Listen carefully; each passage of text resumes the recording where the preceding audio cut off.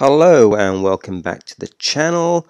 I haven't done one of these for a while and certainly not one about Kingdom Come Deliverance, but some new news and information has been published by Warhorse on Twitter um, that may lead to clues as to what the next Kingdom Come game is going to be about.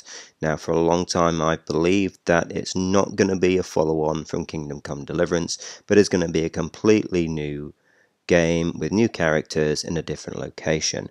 Now, the information that's come out, the clues, do confirm that. Now, a photograph has been found on the internet of a Warhorse developer working on a game, specifically on a, on a village that was not in the original game. Now, this could just be an old photograph, and it's a village that decided not to include, but I don't think it is. I think it's a new photograph, and I think it's a location that will be in the new game. And this location is very special and could give very clear clues as to about where the game is set, when it's set, and what's happening at that time. Now, the village in question is, and I'm sorry if I pronounce this wrong, Mistenice. Now, it's a village that no longer exists, and in the 1960s, a archaeological dig was carried out to find out whether the village was there at all, and they found it. And the village included a fortress with a massive stone foundations, was protected by a moat and a drawbridge. Uh, the um, the village itself dates back to the late Stone Age, where people from Moravian painted pottery culture came to this valley. But what happened to it? Well, in 1468, during the campaign of the Hungarian troops of King Matthias, the town was attacked and destroyed. Now, this is proved by the findings of a large number of arrows, swords, and uh, human remains, um, including the bones of horses, and it all suggests that these were um, warriors on horseback who died here. Now, why was Matthias there? Well, he was on crusade. He was sent by the Pope to restore Bohemia back to the Roman Catholic faith, because at this point they were Hussites. They were following the teaching of Jan Hus, um, the king of Bohemia at this point was a follower of Jan Hus and he wasn't very popular with the local aristocracy in, in neighboring countries and he was not popular with the Pope either prior to the crusade or with the new Pope who so we know that in 1468 if Henry was alive at this point he would be in his 80s so it is unlikely that he will be a character in this game. And I believe this for quite a long time. I believe Warhorse has, has hinted at this um, a few times within the last couple of years. Now, what is this village and is it important? What is here? We know that the livelihood of the inhabitants of Mistenice was agricultural production and cattle breeding. Um, and the burned layers of the village um, was destroyed by fire. There was also evidence of uh, grain production, agriculture, um, pottery making, and also um, the evidence that there were metallurgists living in the village at the time, uh, as evidenced by the kilns that have been discovered.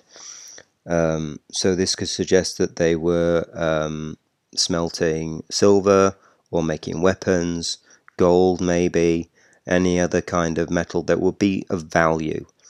Um, this could suggest that this was a deliberate target by Matthias to capture this place. If it was silver, then it would be rich. Um, if it was metals, any other metals for weapons, then it would be useful for arming his troops, providing swords and armor. So now let's talk about what's going on at the time. Um, so in 1468, it's the beginning of the Bohemian-Hungarian War, which lasted for 10 years. It began when the King of Bohemia, uh, King George, was invaded by the King of Hungary, Matthias Corvinus.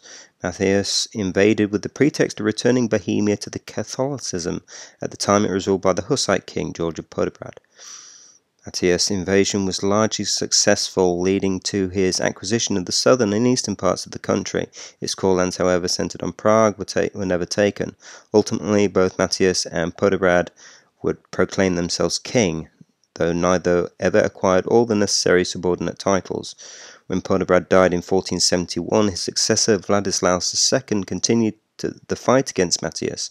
In 1478, the war ended following the treaties of Brno and the Olomouc. Upon Matthias's death in 1490, Vladislaus would succeed him as king of both Hungary and Bohemia. So it looks like for a period of 10 years, this conflict went on back and forth. Um, there were disputes between the two leaders about who was king, which means there would be disputes between the different nobles who would be living in the area and would have chosen their own sides. So there will be local conflicts between nobles, there'll be local conflicts between peasants, and there'll be a lot of disarray, much like what was going on in Kingdom Come Deliverance when Sigismund invaded the area around Skalitz. There'll be banditry, there'll be killings, there'll be pestilence, all similar kind of things. Uh, but potentially with two kings vying for control for this area there will be large scale battles, and this is what we kind of hope that we'll be getting. It's something that was promised in the early stages of development of Kingdom Come Deliverance. We didn't really get. Um, that's understandable considering the budget, but that's fine. Hopefully, with the backing of THQ Nordic, we're going to get that now.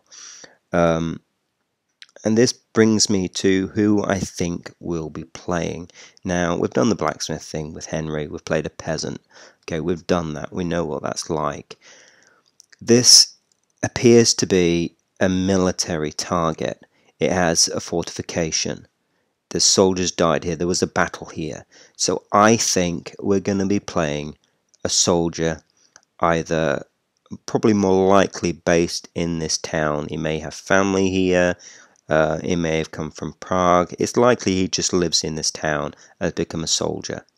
So, um, because of you know the, the usual development of these games, you start with little or no knowledge of playing, of, of fighting, sword fighting, you know, battle armor, that kind of thing. So I think you're going to be starting pretty low down the levels, basic soldier with no skills, and early part of the game, um, you'll be learning the sword fighting skills, um, trading, that kind of thing, and communicating with the with the local population and learning about what's going on here before the attack. Very similar to what happened in Skalitz.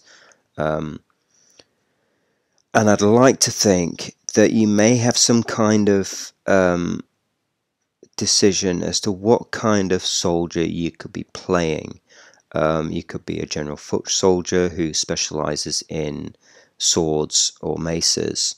Um, you could be a spearman, so you um, develop towards being uh, a spearman and being adept at that. You could be learning how to be an archer and then develop into um, crossbow combat um, and working your skills up on that. Or you could be uh, a mounted troop and learning skills. So I think there could be a lot of options here, um, a lot of immersion into the life of a soldier in the Bohemian army at this point. There could even be the possibility of having early gunpowder troops at this point, which would be amazing if we could do that. And hopefully, um, knowing the team at Warhorse, it would be historically accurate. So, um, firing a a gunpowder weapon at this time would be slow and would be extremely inaccurate, um, but would probably startle a few horses. Um, so this is what I think is going on. I may do a few more videos about the the period, the um, what's going on at the time, the different belligerents that are involved, King George, um, Matthias, um, what's going on with the popes, um, why the Hussites, that kind of thing. So I'll keep you posted. I'll hopefully be able to do some more videos the um, in the next few days. Um, but we are in lockdown, so I've got children in the house, so it may not be as quick as I'd like. So thank you for listening. I hope this is what's going to happen. It looks really interesting. Um, goodbye for now.